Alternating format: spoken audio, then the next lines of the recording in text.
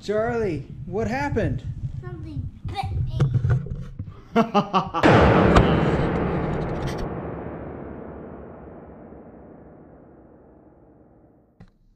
Wonder where Charlie could be. I haven't seen him in a while.